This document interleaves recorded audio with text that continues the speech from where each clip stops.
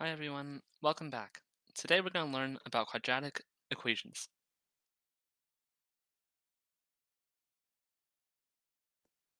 Our objective for today is that students should be able to solve different types of quadratic equations by taking square roots, factoring, and or completing the square.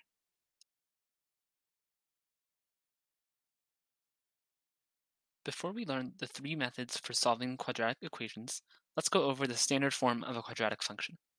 The standard form of a quadratic function is ax squared plus bx plus c equals 0, where a, b, and c are rational numbers and a is not 0.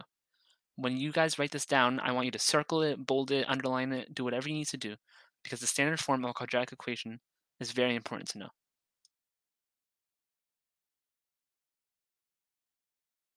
In this lesson, we will learn three different ways to solve quadratic equations. These ways are called taking square roots, factoring, and completing the square.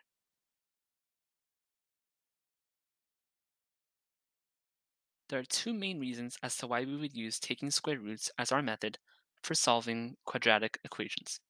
The first reason is if we are given a quadratic function that has only one x squared term and no x term, i.e. b is equal to 0. Or if the quadratic equation is written in such a way that a binomial term is squared. So for example, the equation I have here is x plus 2 squared minus 6 equals 0. Notice that the whole binomial term, x plus 2, is squared. So if we were given an equation that looked like this, we would want to take square roots.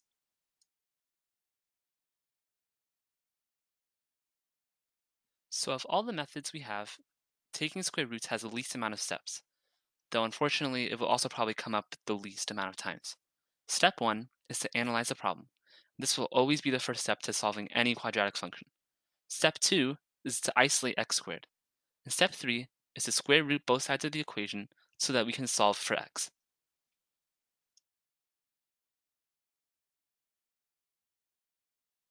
So for our example, let's take 2x squared plus 5 equals 23 and solve for x.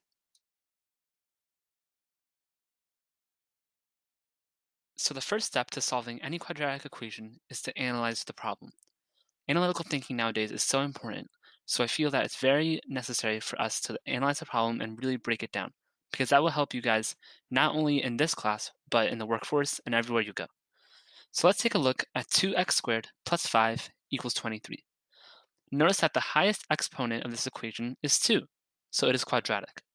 Also, there is no x value, so b is equal to 0. Therefore, because b equals 0 and the equation is a quadratic, the best way to solve for x would be to take square roots.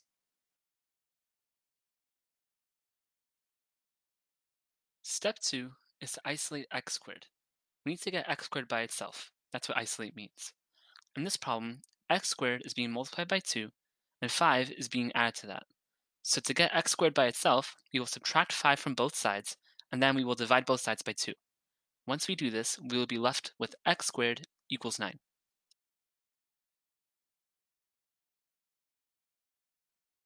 Okay, so now we're on our last step, step 3, which is to take square roots of both sides of the equation.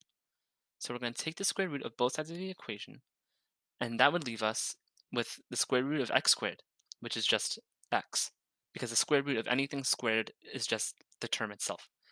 So for example, the square root of 10 squared would be 10, because square root and squares cancel each other out, essentially. And then the square root of 9 is 3. So our final answer is x equals plus or minus 3. Something that's very, very, very important when you do these type of problems is that whenever you physically write in a square root, you must write plus or minus in front of your answer. And this is because 3 times 3 is equal to 9, but also negative 3 times negative 3 is equal to 9. So we need to account for both options.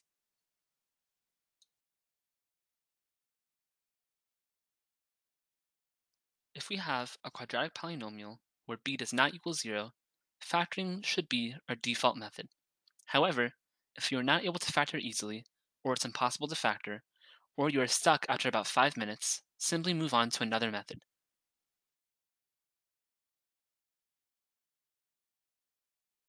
The steps of factoring are as follows. Step 1, as always whenever you are solving a quadratic equation, is to analyze the problem. Step 2 is to put the equation into standard form. Step 3 is to multiply a and c and then find factors of the product of a and c that add up to b. Step 4 is to write b as a sum of the factors from step 3. Step 5 is to group the first two terms with each other and the last two terms with each other in order to simplify both terms separately. Step 6 is to obtain two binomials from the groups and set each binomial equal to 0 in order to solve. Right now, this might seem like a lot of steps and it might seem a little overwhelming at first, but we will go over all steps in detail, so don't worry.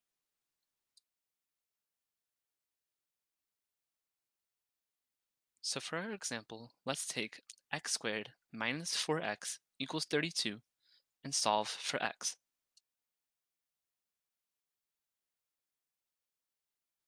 The first step to factoring is to analyze the problem. So let's take a look at x squared minus 4x equals 32. Notice that the highest exponent of this equation is 2, so therefore it is quadratic. Also, there's a coefficient in front of the x value, so b is a number. Therefore, because b is a number and the equation is a quadratic polynomial, we should try to solve for x using factoring.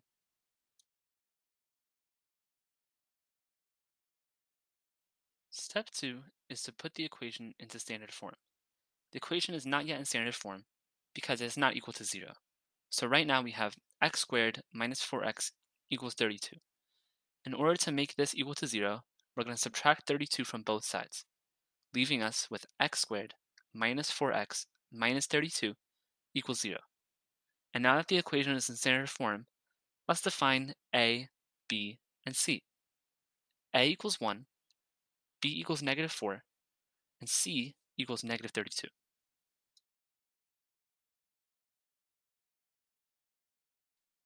In step 2, we determined that a equals 1, b equals negative 4, and c equals negative 32.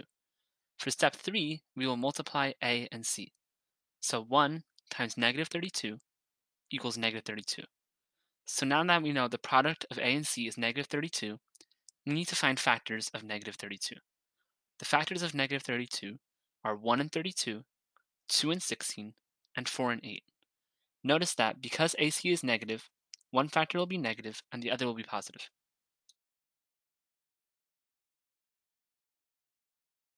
So continuing with step 3, we need to find factors of negative 32 that add up to b, which in this case was negative 4. We do this by guessing and checking.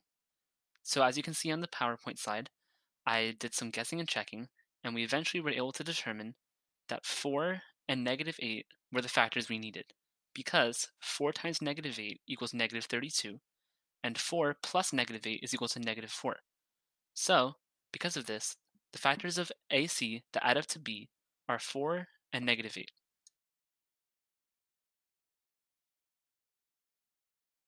Step 4 of factoring is to write B as a sum of the factors from step 3. The factors we determined from step 3 that added up to negative 4 were negative 8 and 4. Therefore, we will replace negative 4x with negative 8x plus 4x. So our new equation is x squared minus 8x plus 4x minus 32 equals 0.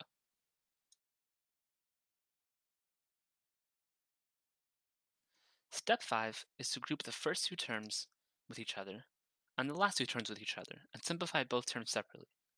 So right now, our equation looks like x squared minus 8x plus 4x minus 32 equals 0. So we will group the first two terms with each other and the last two terms with each other, creating two groups. The first group being x squared minus 8x, and the second group being 4x minus 32.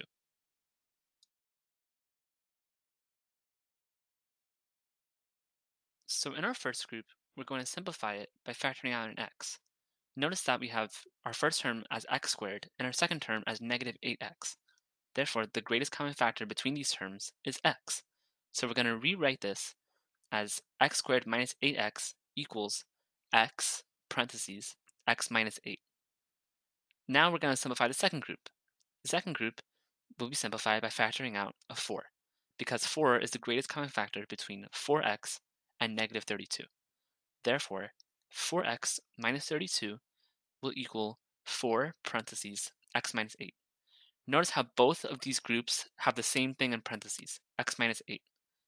Whenever you factor, both groups will always have the same binomial in parentheses, which in this case was x minus 8, when you simplify them. If this does not happen, like if you get two different binomials, you need to check your work because something went wrong.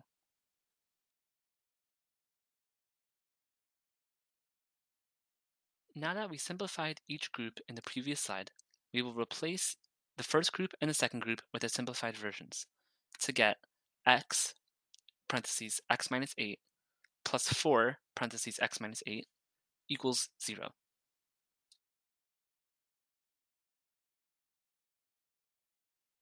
The sixth and final step to factoring is to obtain two binomials from the groups and set each binomial equal to 0 to solve.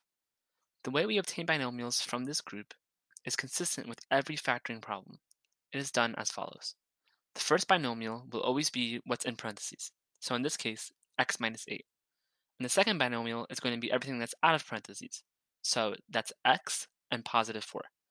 So our new equation looks like x minus 8 times x plus 4 equals 0.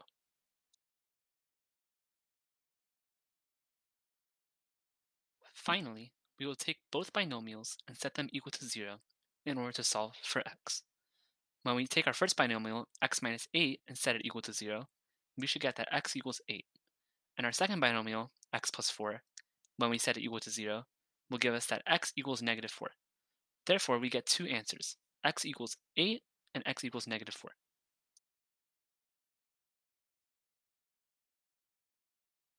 The final method we will be going over today is completing the square. We use this mm-hmm. method if a equals 1 and b is an even number. You can use this method if b is odd if you prefer using completing the square, but you will have to work with fractions, and let's face it, no one wants to work with fractions.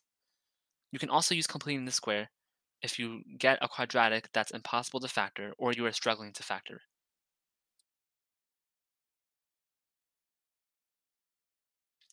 There are five steps to completing the square.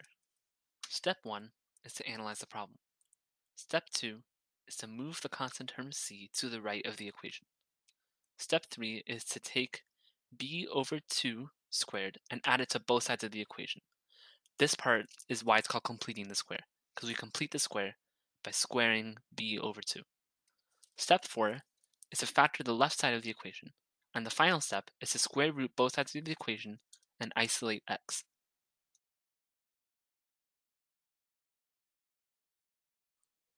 For our example, let's solve x squared plus 4x plus 1 equals 0 for x.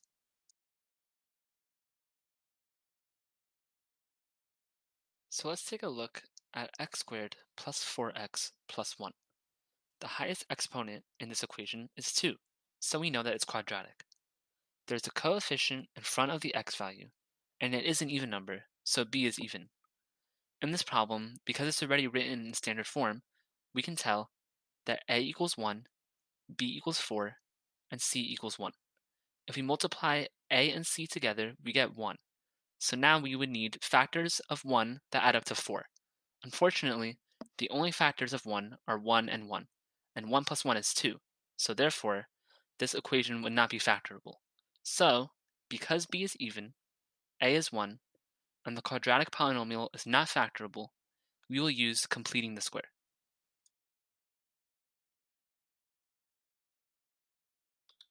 So the next step for completing the square is to move the constant term c to the right side of the equation.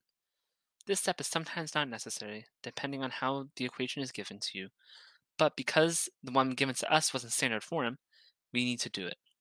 So we have x squared plus 4x plus 1 equals 0. And we need to move the constant term to the right side. Remember that the constant term is a term without a variable next to it, which in this case is positive 1. So in order to move positive 1 to the right side of the equation, we need to subtract 1 from both sides. This leaves us now with x squared plus 4x equals negative 1.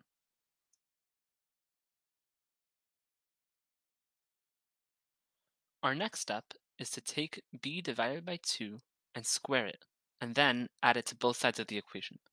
Right now, we have x squared plus 4x equals negative 1.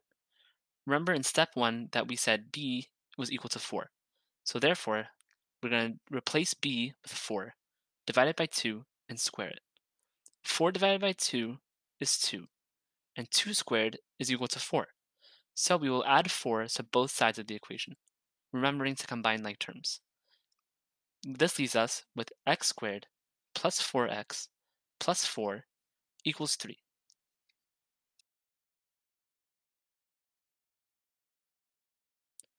Step 4 for completing the square is to factor the left side of the equation. The equation we have right now is x squared plus 4x plus 4 equals 3. When completing the square, the left side of the equation will always, 100% of the time, factor into x plus b over 2 squared. We can factor it the long way. However, you'll always get x plus b over 2 squared. So to save time, we're just going to replace the left side of the equation with x plus b over 2 squared. From step 2, we know that b over 2 is equal to 2. So our new equation is x plus 2 squared, the whole thing squared, equals 3.